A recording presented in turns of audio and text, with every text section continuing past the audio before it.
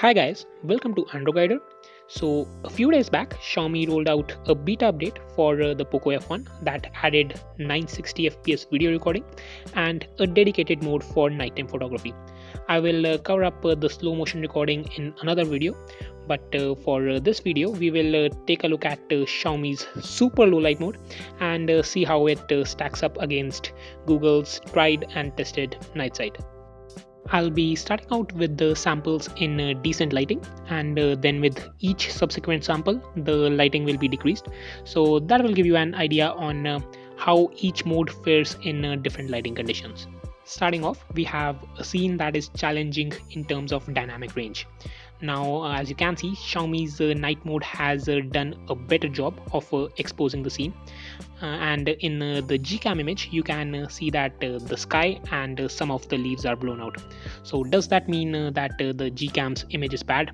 Well actually not because uh, when you zoom into the image then uh, you can uh, see that the details are slightly better in night sight. But given the overall better exposed image i am going to hand over this one to xiaomi now this is almost the same scene but with dimmer lights once again Xiaomi's image is a more accurate representation of uh, the actual scene but uh, Google does an even better job in uh, boosting the colors and uh, keeping the details at the same time.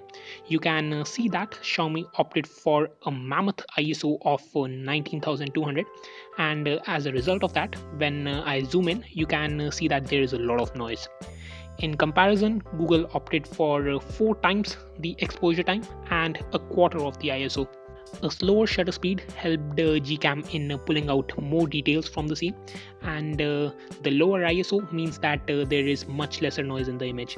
So overall, I think uh, Google has uh, done a better job. So plus one to Google. Moving on, we have another set of images, and here Night Sight is the clear winner.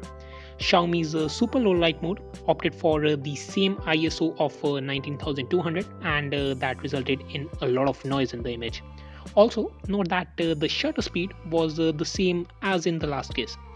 In comparison, Gcam opted for uh, one third the ISO and three times the exposure time.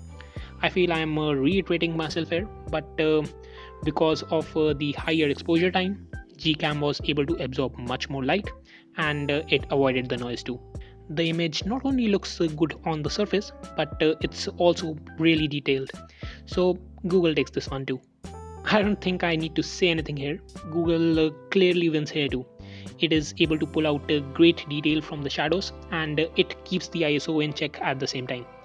On uh, the other hand, we see that uh, Xiaomi continues to use uh, the same combination of 1 by 17 seconds of exposure time and an ISO of 19K. Now we can see that Google is playing with both the shutter speed and the ISO and uh, in contrast xiaomi has just stuck with that uh, same combination of uh, shutter speed and iso so i thought uh, let's click an hdr image using uh, the normal photo mode in uh, xiaomi's camera app and see what exposure time and iso xiaomi is using for that. Interestingly i found that xiaomi used the exact same shutter speed of 1 by 17 seconds but the iso was halved Seeing these results, I thought of uh, making some changes to my testing. I shall uh, now be clicking a normal HDR image from uh, the Xiaomi camera app, a super low light image, and a night sight image. Let's move on. This is uh, a shot of uh, the night sky, and there's also a tree there in the scene. The image from uh, Gcam turned out to be blurry this time. I guess uh, that was because my hands shook while uh, taking the photo. And uh, this is actually where longer exposures can be a con. If your uh, hands shake in the middle of uh, taking a photograph with a long exposure time then uh, the image will turn out to be blurry. And the poco f1 doesn't have optical image stabilization so that doesn't help as well. Coming to xiaomi's image we once again notice the same iso and shutter speed combo and uh, before I show you the normal HDR image I will uh, quickly update uh, Xiaomi score to 2 Xiaomi's image is noisy but it's the more usable one Okay, now let's get to comparing the normal HDR image and the super low light one. And uh, again, we see that uh, the shutter speed is the same and Xiaomi has just used twice the ISO. So you can see a pattern here, and uh, that is that uh, Xiaomi is utilizing the same shutter speed for both the normal HDR mode and uh, the super low light image, and it's just opting for uh, using twice the ISO. Now, normally when you think of a night mode, a dedicated mode for nighttime photography, the first thing that comes to your mind is the longer exposure times or uh, slower shutter speeds. But uh, that doesn't appear to be the case here. It's uh, Xiaomi is just uh, cranking up the ISO and it's uh, banking on that to pull out uh, the details from the shadows and in boosting the overall colors. Anyway, let's move on. Now, this is a special one so before I show you the night sight image and uh, that's the special one I would uh, like to show you how the normal image yet again uses the same shutter speed and half the ISO as the SLL image. Uh, I just shortened uh, super low light to SLL here. So uh, I'm thinking right now why Xiaomi is uh, not opting for uh, longer exposure times. One reason for that uh, can be to avoid ghosting and uh, blurry images. As we saw in that uh, gcam image the image turned out to be blurry as a result of uh, uh the slightly longer exposure time. But uh, still i mean 1 by 17 seconds is still way too low for uh, a mode that is dedicated to nighttime photography. I mean if you are when we are talking about low light the first thing is to use a longer exposure time as i have already stated. So I think uh, Xiaomi can uh, uh, do much better here if it makes use of a slower shutter speed and it will have to do that if it plans to compete with night sight at all. Right now uh, Xiaomi is nowhere near night sight and uh, that will become more clear when I show you the special night sight image. And uh, here it is. I'll say it right away. Gcam blew my mind with this one honestly uh, i wasn't even able to see the colors that gcam produced. Um, i mean i couldn't see those colors with my eyes. Uh, the camera viewfinder was almost dark as you can see. And uh, after uh, seeing that uh, when the hdr plus image was produced and all i was just left amazed that uh, gcam can even be better than the human eye at times. And that's saying a lot. I mean just think about how far we have come with computational photography. Uh, we know that uh, machine learning algorithms improve over time, and uh, if you don't know uh, how Google is uh, making night sight possible, one part of that uh, is machine learning algorithms, and machine learning algorithms only improve over time. So imagine what Google will be able to pull off next year, or maybe the year after that. All I can say right now is that we are living in a really great time where uh, we are getting to see technology evolve itself into a new era. Before I get ranting, I will uh, update the score and uh, get to the next set of images. Uh, now you would have heard that uh, night sight made uh, daytime photos better than uh, the HDR plus images. So I thought let's test out the super low light mode and see if it improves the daytime images or uh, if Xiaomi still uses the, same ISO and shutter speed combination. As it uh, turns out, uh, the SLL image looks weird, and uh, uh, you will get that when you look at uh, the ISO and the shutter speed readings.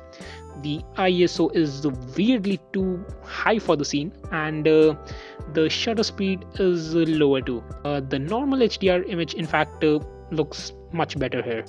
Coming to the night sight image i thought of uh, putting it up against a normal hdr plus image and uh, see if it uh, does any better.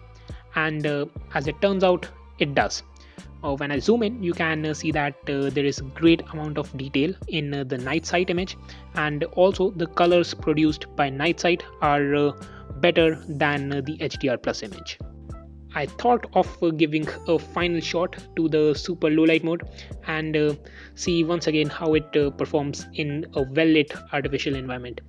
Uh, the image turned out to be good this time, there is uh, plenty of detail as you can see. In uh, comparison, the Google camera image has a slightly better detail, such as the texture on the wall. So, Google takes this one too. Now moving over to the selfie camera, the super low light mode isn't available for uh, the front camera yet, but uh, night sight works. So I thought of uh, clicking a selfie in uh, the darkest corner that I could uh, find in my house. And uh, as you can see, or in fact you cannot see anything, so let me just put up the night sight image right away. Uh, if you want to look at uh, the normal HDR uh, selfie from uh, the Xiaomi camera, then uh, here it is.